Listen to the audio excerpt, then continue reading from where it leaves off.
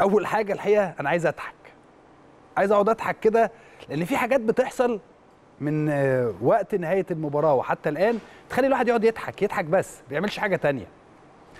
يعني يا جماعة السؤال هنا وهو سؤال للناس اللي الأخصائيين في كرة القدم. وحضراتكم كلكم كل جمهور النادي الأهلي أنا شخصيا بعتبره أخصائي في كرة القدم. هو أي فريق بيتغلب أو أي فريق بيكسب مش المفروض إن الفريق اللي قدامه اتغلب؟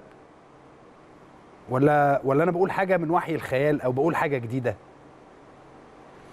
طيب النادي الأهلي كسب نادي الزمالك في السوبر 3 2 ده معناه إيه؟ إن نادي الزمالك اتغلب من النادي الأهلي 3 2 في السوبر.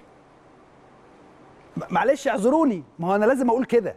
معلش يا جماعة أنا آسف جدا اعذروني لازم أشرحها واحدة واحدة عشان الناس اللي مش فاهمة تفهم. كرة القدم عبارة عن أخطاء. كرة القدم حي... أي حد لعب كرة قدم في العالم في العالم هيفهم الكلام اللي أنا بقوله ده. أو ما لعبش. حد بيفهم في كرة القدم هيعرف إن كرة القدم دي أخطاء. كرة القدم عبارة عن أخطاء. أو الأهداف اللي بتيجي في حضرتك نادي الأهلي كسب نادي الزمالك في الماتش اللي فات. نادي الأهلي كسب نادي الزمالك إزاي؟ إزاي؟ يا متعلمين يا بتوع المدارس. كس- كسب إزاي؟ هقول لكم كسب إزاي. ثلاث أخطاء. ممكن تبقى أخطاء في التمركز أخطاء فردية أخطاء جماعية ولكن في النهاية اسمها إيه؟ أخطاء بتتسبب في أهداف للفريق. ولا أنا غلطان؟ الكلام اللي أنا بقوله ده غلط ولا صح؟ فأي فريق بيكسب بيكون الفريق اللي قدامه اتغلب يا جماعة. واضحة واضحة وصريحة. ما فيهاش أي آه، ما فيهاش أي لبس. ما فيهاش أي لبس. فالأهلي كسب الزمالك 3 2 بعد 50 سنة ربنا يدينا ويديكم طولة العمر. الشباب الصغير لو إحنا مش عايشين الشباب الصغير هيطلع يقول إيه؟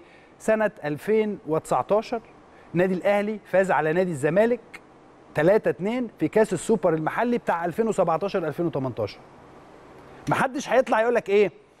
أصل النادي الأهلي لعب 65 دقيقة كويس قوي وبعدين لما اتصاب الاثنين القلبي دفاعه فبقى عنده مشكلة فبالتالي نادي الزمالك آه، هجم على النادي الأهلي فجاب جونين ضربتي جزاء وأخطاء من لعيبة النادي الأهلي أخطاء من لعيبة النادي الأهلي.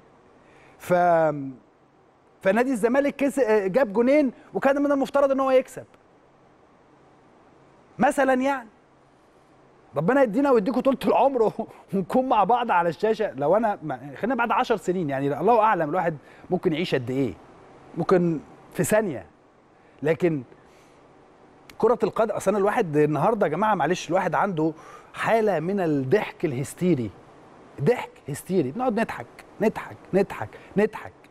ودايما لما باجي أتكلم مع حضراتكم بقول لكم إيه؟ بقول لكم إن أنا إحنا هنا في النادي الأهلي مش أنا إحنا هنا في النادي الأهلي. أو في قناة النادي الأهلي. دايما لما بنيجي نتكلم بنتكلم عن النادي الأهلي ما بنتكلمش على أندية أخرى. ما بنتكلمش على حد بيتكلم علينا أو حد بيقول كذا. ولكن في أشياء مضحكة تخليك تقعد تضحك كده وأنت قاعد كده إيه كل ما تشوفها على التليفون أو في أي حتة تشوفها على التليفون كده تقعد تضحك. تضحك. مسلية يعني.